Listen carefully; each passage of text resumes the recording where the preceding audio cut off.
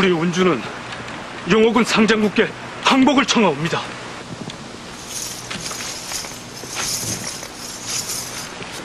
상장군, 항장은 불살이라 하였사오니 아령을 베풀어 주시옵소서.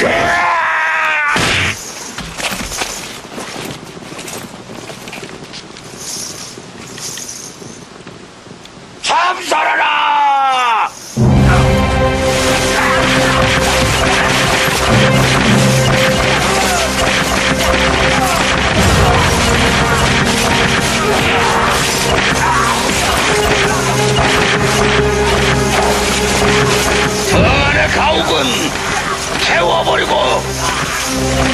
살아있는 것은 사람이든 짐승이든 모조리 돌이고 내버려라!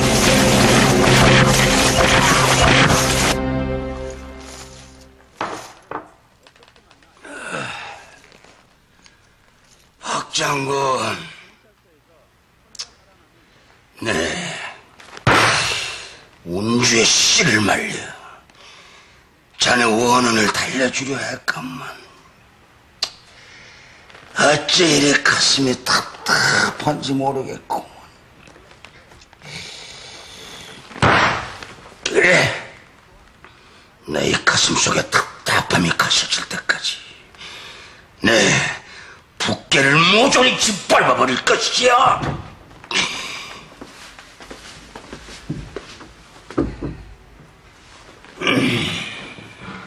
부인, 내게 무슨 하실 말씀이라도 있으신게요? 상장군, 항복한 자들을 참살하는 것도 모자라 어찌 죄 없는 백성들까지 사륙하라는 명을 내리셨사옵니까? 상장군, 사사로운 원한 때문에 이제껏 쌓아올린 공든탑을 무너뜨릴 작정이시옵니까? 백성들을 죽이는 업보를 짓는다면 계림의 황룡은 결코 승천할 수 없다는 것을 어찌 모르시옵니까? 당장 백성들을 사륙하라는 명을 거두시옵소서.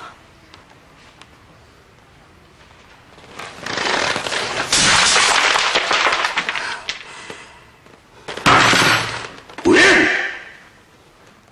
네, 굴량미를 풀어 굶주린 북과 백성들을 먹이고 그들의 상처를 돌봐주었소이다. 하나, 놈들은 내 목에 걸린 상금만을 노렸소이다. 네, 저놈들의 배은 망덕으로 내 분신과 같은 박장군을 잃었걸 어째 저들을 감싸는 말씀이시오이까? 상장군, 부인! 내 더는 부인의 말씀을 듣고 싶지 않소이다. 계림의 황룡이 뭐니 하는 말 따위로 날 부추기려거든. 당장 서라벌로 돌아가시오!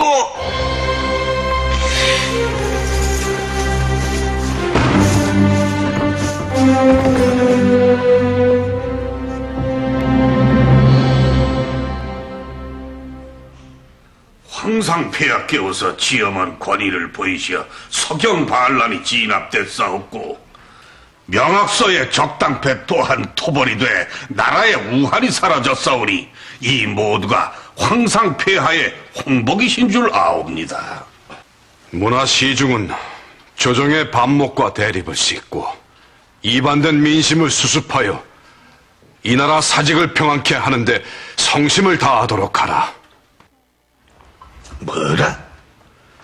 금강야차가 북계의 성을 도륙내고 있다?